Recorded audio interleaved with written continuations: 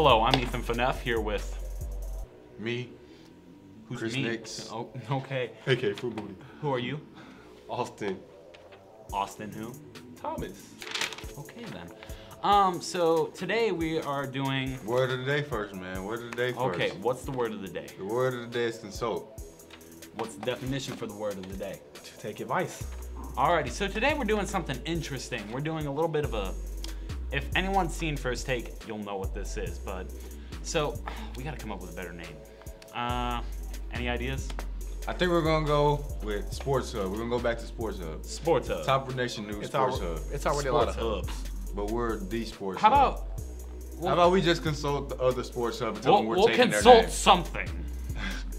we'll figure it out. Consult Hub.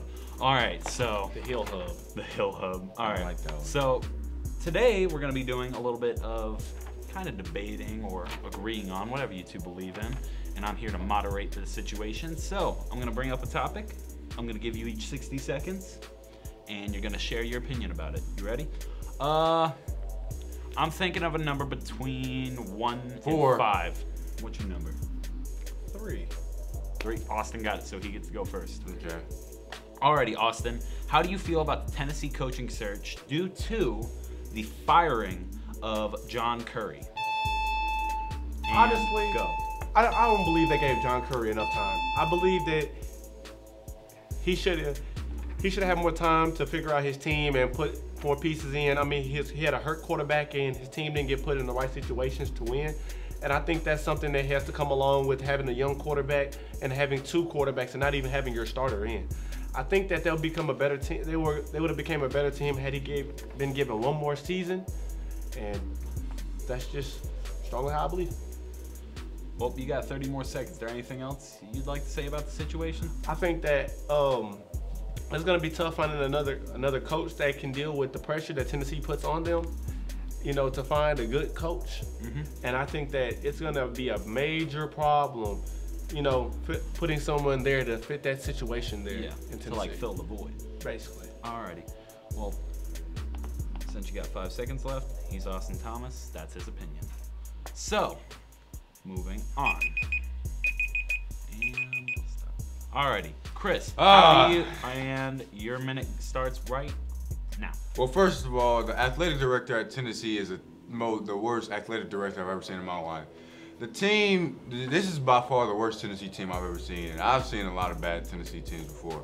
Butch Jones took them to a bowl game where they beat Iowa State, I believe. No, they beat Iowa. They beat them bad, and that was before John Currie was hired. So I believe that he he's really ruined the program. I mean, Butch Jones isn't the best coach ever, but he truly he he gave he gave those boys a chance. He brought in some of the top recruits. He had they were playing hard, but once you brought in this AD that nobody respected, all the all the respectfulness just went out the window. Like Rashawn Golden at the Alabama game throwing up double middle fingers to the crowd. You can't have stuff like that. As an athletic director, you have to you have to get on these players, stay on these Be- players as hard as you can. control of the team. Yeah, what they do. and for some, one of your players, one of your uh, upperclassmen actually, to go in the stands and just do something like that, you that's that's something as an athletic director that absolutely cannot happen, and that's why I feel. Right, I hate to cut you off, but your time's up. Uh, Alrighty. So now moving on. Um, our next topic we're going to be talking about is the SEC Championship. The teams are Auburn versus Georgia on Saturday, December the third. So, um, since Austin went first last time, you get to go first this time, Chris. And who? Before we start, who do you think's going to win? I'm most certainly going for Georgia in this one. Going for Georgia. Yes, sir. Are you just saying that to get Coach Burton's appreciation of Um, you, or do not you at all. actually think? Not at all. I just. All right, well, I'm gonna start your minute and you can explain why. You ready? Three, two, one, go. Well, first of all, I just really hate Alabama. I don't hate them for any specific reason. It's just they just win too much. Like, no team should be that dominant for so long. And because of that, I think Georgia should. I, Patriots. I want Georgia to win because if Georgia wins, Alabama it'd be hard for Alabama to make the um, jump into the top four. So that's why if Auburn wins, Alabama could possibly make it with other uh, with other circumstances. But I feel that Georgia has a good game to win, well, um, a good chance to win this game. Last time they played, uh, Auburn beat them pretty bad, but I believe Georgia was at was at their stadium. So I mean, if Georgia just comes out there and play like they did all season, then they should strongly be they should be strongly ready to come out and compete and make it to the top four of the college football playoffs. Yeah, so you think that Auburn, or Georgia, my apologies, Mm-hmm. is a top contender? Georgia is if they make it into the top four, I don't think they'll they'll win it. They'll go they won't go to the national championship. But I believe that they could make it into the top four and play Alabama. Well, thank you for your opinion, Chris. Mhm. Moving on to Austin. So, you who do you think's gonna win? I have Auburn actually in this one. Really? Yeah. We got debate going on, people. Um, all right, so tell me why you think Auburn's gonna win in three, two, one, go. Honestly, Auburn front seven, they're so dominant. They're going at you every time. They're hitting hard. It's almost ridiculous to see how aggressive they are without even using a blitz package every time. I mean, the way they came at them the la- two weeks ago, I mean, I just don't expect things to be any different. Auburn's played in so many different like stages that they they've seen what it what it takes to be the best. They've been there. I mean, wasn't it like 2013, 2012 when they won it? I mean, no, 2011 when they won with Cam Newton, and they had a strong year. I think that they're gonna come at them pretty hard, and they're not gonna give Georgia an easy win. They're coming hard for that spot. Um, you can't bring up Cam Newton. That, that Hey, was so hey, long hey, ago. hey, you had your minute. this is Austin's. Yeah, I mean, it was so long ago, but I think that Auburn every year is in content, contingency, but this year is going to be a strong year for them, and I think they'll be able to, to put to beating on Georgia. I was gonna get stumped. Yeah, so, well, alrighty then. And I'll cut that off right there.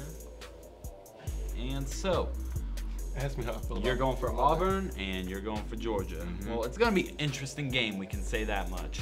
It's going to determine how the rest of it's going to go. Alrighty, so let's just reset the timer. Uh, sorry, gotta let it go off. Alrighty, so now on to the ACC championship. Since Chris went first last time, Austin, you're going first this time. Who do you think's gonna take it? It's Clemson versus Miami on Saturday the seventh. I think that Miami is gonna is gonna come out strong. Alrighty, well here we go. I'm gonna start your timer, you're gonna explain why. This is his minute. Gee golly. It's his minute, Chris. You understand? Alrighty, here you go. I think Miami's gonna start out strong, even though Clemson is a strong team, and I and I can completely agree with that. That Miami's gonna come out with the chip on their shoulder. After they lost that last game, I think they have something to prove. And that turnover chain, they coming for it on boys. So go somebody need to give me a chain like that. I think that defensively, they're so strong that they're not gonna let Clemson just constantly throw it over the top of them. Their corners are strong with with some with some young freshmen and some high, Heisman contenders back there actually. That I could see that they're gonna have some time to really compete this year. I think they're gonna beat them pretty bad, Alright. and I just don't see them having a chance. And That's very bold. You think that's gonna be like the underdog situation? yeah, I, I- I mean, I'm gonna give you my score prediction right now: really? Alright. What is it? 28-17, 28-17. Miami. Wow. Alrighty. So that's Austin's prediction. Alrighty. Here we go. Your turn. I'm going for Clemson. You're going for Clemson. All in. Alrighty. Explain why either Austin's wrong or that Clemson's just so dominant. Are you ready? Three, two, one, go. First off, I just want to say that 28 to 7, Team. 28-17, that's by far one of the one of the craziest things I've heard all day. Clemson's gonna come out and beat this team badly. I don't Clemson has a chip on their shoulder since losing to Syracuse. They haven't lost ever since. Miami just took a tough loss to Pittsburgh. Although Pittsburgh, Pittsburgh's not the best team, but they'll, they'll still give people a run for their money. But the way they played in that game, it was terrible. They went between two quarterbacks, back and forth, back and forth. And Clemson just had one of the best quarterbacks in the country all year. I mean, his stats, his stats prove it, but his numbers, I mean, his play, it's it's okay. It's nothing that just stands out, but he gets the job done. And they're 11 and one, number one in the country. They're not number one for any for no reason. Clemson has one of the best resumes in the country. And if they make it to the top four, if they stay in the top four, which they will, they'll play probably Alabama or someone of that Well, caliber. I'm not gonna your opinion. continue to- We're, we're moving on. I'm not gonna continue to entertain your ignorance, Christopher Nix. 28-17 is pure ignorance. All right, well then, really quick before we move on, what's your score prediction? 35-21. 35-21. All right. How about the next time after both these games, or after this game, we have a little bit of a like, he has to come out and say Chris was right, and if Issue, he's right, I want him to issue an apology. issue an apology. You're On hearing Topper it Nation right News. here on Topper He has to Nation issue an apology. No, On this is blasphemy. blasphemy. All right. Well, if he's right, you got to issue an apology. But if what do you want if you're right? I want your jersey. uh, nah, just give me an apology too. An apology. All right. So, Topper Nation News in the near future, you're gonna see an apology. And, and hey, and if Auburn wins, I want Geor- I want Mr. Georgia to come right here on the show Mr. Georgia, with the Georgia gear on. No, he he's got to come with some Auburn gear. he's got to wear an Ooh, Auburn Yeah, I'll take that. Or we can put a big X over that Georgia jersey. Over that Georgia. Alrighty. Well. Never. All right. Moving on now. On to college basketball. Anybody have any thoughts about it? Um, I actually do. All right. So I wanted to ask Austin the question. Um, Alrighty. Do you believe that Duke looks like the number one team right now? Well, Marvin Bagley, I gotta give it to them. They're not the strongest team, but they have the best player in the country. Yeah. Marvin Bagley is so dominant this year. He's definitely an NBA All Star. I could just see it. I mean, the kid is a number one pick, no doubt about it. He's so strong down low. He dominates. He dominates game after game. He never ceases to come to give up. Even when they're down, he's coming hard. 35 and 10, 23 and 10. It doesn't matter. The kid's a double double magnet, and I can see he's a future number one pick. You see him as a future number one pick from Duke. So who are you taking? If DeAndre Ayton or Marvin Bagley? because of his ceiling, I gotta take DeAndre because Deandre, I mean, uh, DeAndre is so versatile. He's a seven footer with with some good range. He he defends well around the basket, and I mean the kid's potential is almost equivalent to Joel Embiid's. I mean, in some ways, in some ways they do play similar. They both have the outside game. They both have the low post game. But I think what separates the two is just maturity. All right, so, all right, so really quick, let's talk about some school things going on before anything else. So the dance recital, uh, they're doing another part tonight. Hmm Wouldn't they have a show yesterday? Yeah, they had a show mistaken? yesterday. Yeah, it was a solid show. Yeah, a lot of some people friends s- show me some clips. It was a good show. I, I think they put their heart and soul into that show. And uh, the um, Knox Catholic we Mm-hmm. gotta talk about. I'm gonna let you take that one because I don't know much about it. Uh, I well. Also, we have a basketball game. Oh. I totally forgot about that. I'm not even gonna Ah, lie. that Oh, hurt, man. That hurt us. That hurt Man, us. I don't know any basketball players. That hurt us. I mean, I can't think of any. And we have our first five eight. We. I have our can't first, put my finger on anybody that's a basketball player. Oh, God, it's so hard. Whatever. It's nobody in public. our first state Uh, championship game. We have Knox Catholic winning. Is that is that correct? Yep. Knox Catholic winning the football championship or five A state championship. Alrighty. They beat Beach, if I'm not mistaken. I believe you're correct. Hey, what about one more thing I could throw out? My boys in state th- tonight Cane Ridge playing for the state championship. Alrighty. against Maryville at seven. Turn it on on the Channel show too. So oh. that's all for. My TV 30. My TV 30. My TV 30. My apologies. Alrighty. Well, If you don't got cable, now go get that free month subscription we got Comcast. some. Now I'm gonna shoot it over to Topper Entertainment News. They're gonna take it away with some hype stuff. Over to Topper Entertainment News. All right. All right, here we go. Hey guys, I'm Zach. I'm in for Evan today on Topper Entertainment News. I'm uh, supposed to have a co-host, and uh, he's supposed to. I'm here. Well, he's here. I'm Ethan Finette. Uh, sorry, it's a big studio. Um, yeah, I'm super hyped to talk about this. The Infinity War trailer. Marvel's Infinity War trailer. It's already grossing uh, 60 million views, I believe, Oh, 60 million views. God, that's more than Justice League in its opening weekend. in two days. In two days. 60 million views. Oh my God, what a trailer! Yes, amazing. Probably I- the best one Marvel has had. That is the recent. only other trailer I can think that was as good as that was the Civil War trailer. yes, if But- not if not equal to it. If not equal, it might even be better.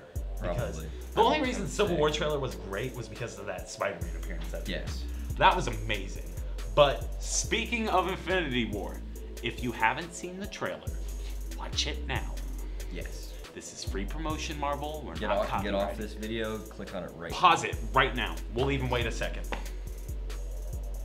Okay, you watched it. You Okay. watched it. Okay, now was we're gonna talk about it. Thanos. Oh my God. Yes. All right. He's gonna wreak havoc. He's gonna destroy everybody. Yes. Now, if you haven't seen Thor Ragnarok, we're gonna talk Highly about it a advise you bit. watch that Watch this before you see Infinity War. because there are a couple movies you need to see before Infinity War: Guardians of the Galaxy, Doctor Strange, Spider-Man: Homecoming, Thor: Ragnarok, and almost a lot of these Marvel movies are hinting at Infinity War. That's what the Infinity Stones have been about. That's what the Tesseract is. It's an Infinity Stone with a casing around it. So, this movie is gonna be so big. Oh yeah. Now, It's. I mean, it's probably gonna it's break box off box office records. So. Yeah. So here's what. Well, we're gonna talk about this more. We'll have a segment later on talking about this when we get more info about it. But that that's all we can talk about today because nothing else Yeah, really big sadly, happened. unfortunately. So, I, man, I'm so excited to talk about it. I'm Ethan Faneff, I'm Zach Waring. and this has been Topper Entertainment News. I hope you all have a wonderful day and a great weekend. Merry Christmas. Merry Christmas. Bye.